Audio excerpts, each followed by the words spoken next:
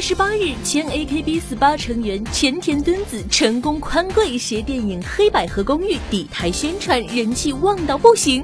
成功宽贵在机场衣服都被粉丝扯破，更有疯狂粉丝现场挤得鞋子都掉了，疯狂程度实在吓人。不过，虽然衣服被扯破，成功宽贵依然非常开心，现场用中文和粉丝打招呼，并尖叫不断。大家好。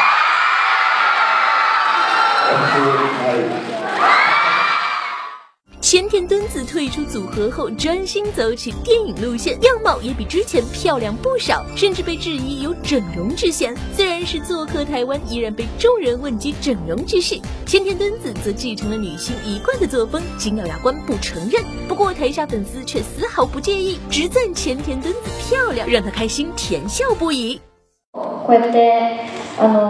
台湾の皆さんに会えるっていうことで 昨日も夜にジムに行ってトレーニングに行って朝万全な状態で来たんですけど そういうことぐらいです。